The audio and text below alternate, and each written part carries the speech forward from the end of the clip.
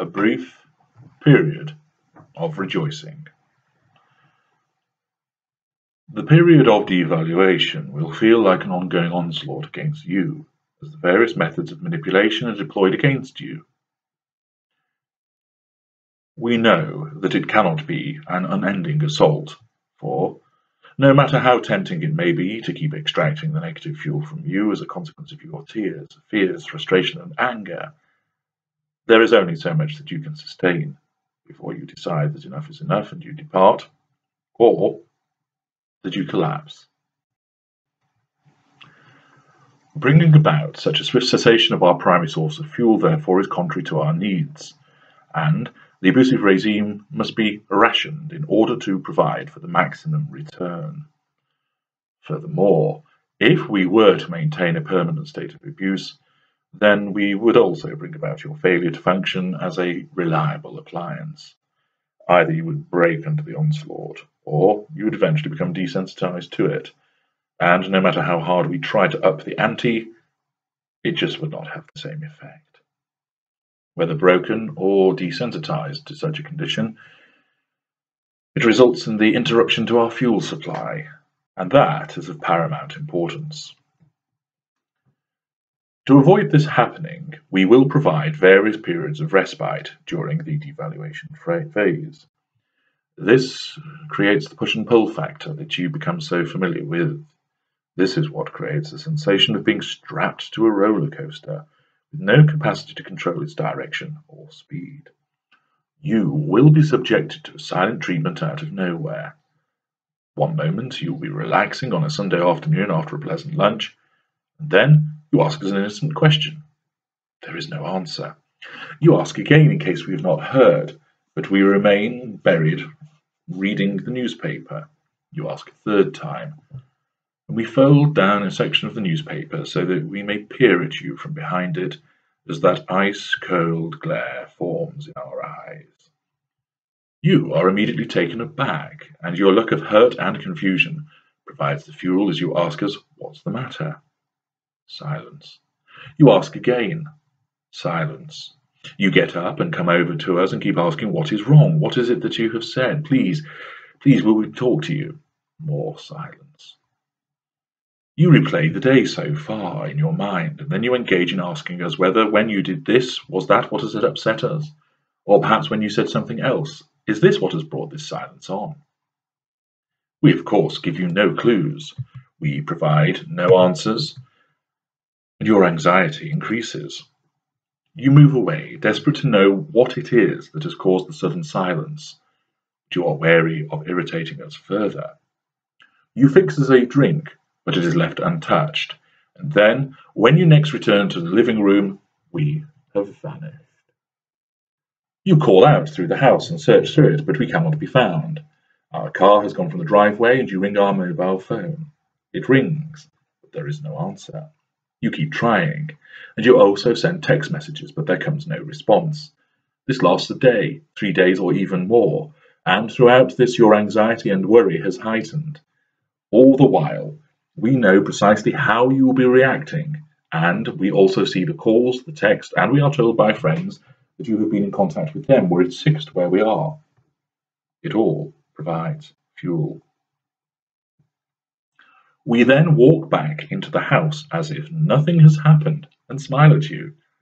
We see the relief flood across you and the tears of joy welling in your eyes as yet more fuel comes our way. We hold our arms out and, like the child being granted access again to a once angry parent, you into them. The surge of emotion rippling across you as you feel relieved, delighted, and happy. This cessation of the silent treatment, or another form of abusive manipulation that we will deploy during the devaluation stage, does not end there. We take it further. We reinstate the golden period so that not only are you so relieved that the horrible silent treatment has ended, you become elated that this wonderful period has returned.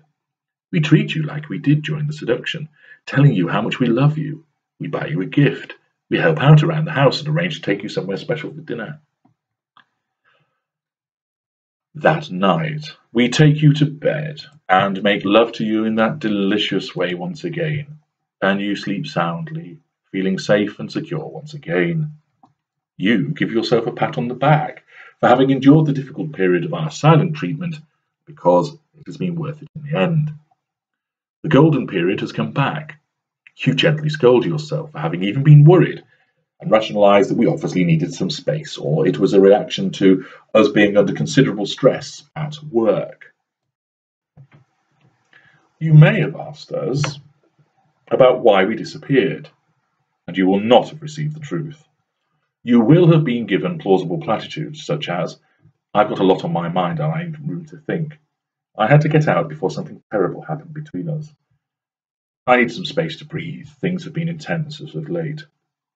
These are just excuses that we know you will accept because you are the forgiving type, and besides, we are back, and the golden period is as well, so you do not want to do anything to jeopardize that by subjecting us to some kind of inquisition. Indeed, there are times, despite your need to know, that you decide it is better to ask nothing and instead revel in the fact that we have come back. We will act as if nothing has happened, and you are content to accept that. Peace is so much more enjoyable than war, and what a golden peace it is too. Whether it is the silent treatment, shouting at you, criticizing you, intimidating you, messing about with other women or men, or all of them, we will call a halt.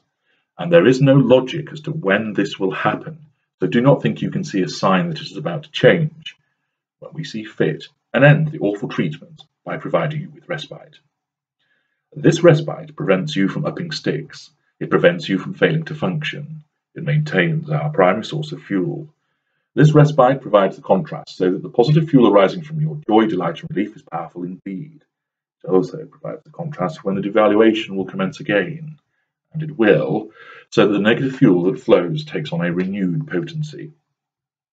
Moreover, this act of kindness, which is scattered throughout the devaluation period as a whole, act to bind you to us. You feel relief. You also know when the abuse begins again that if you hang in there and try and work things out, the golden period will come back once again. It did before, so you just have to wait and keep working hard to recover it. You are duped into thinking that its restitution is as a consequence of your clingability and stickability and something you have done to please us. It is not. You may as well roll a die, and the number will equate to the number of weeks of abuse that you will endure before we switch and provide you with respite. Just like the terrorist who takes civilians hostage and frightens and beats them, he will show an act of kindness by allowing the captives to shower or to make a call to a relative. The captive then feels warmth towards their captor, despite what they are doing to the captive overall, and this engenders hope that another small act of kindness will be exhibited if the captor is kept on side.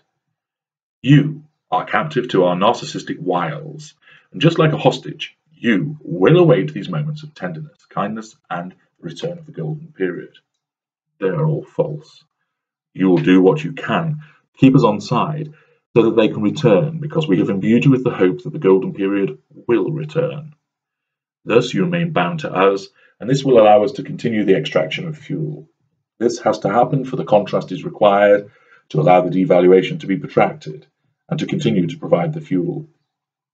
You are duped into believing that you can influence us to cause the restoration of the golden period and keep it in place. You cannot. You may as well roll a die, and the number that comes up will be the number of weeks that you will endure the particular abusive manipulation or manipulations before we suddenly switch back to a period of respite and the golden period. You will rejoice when this golden period returns, and you are given this much needed respite. The reality is, however, that it will only ever be a brief period of rejoicing.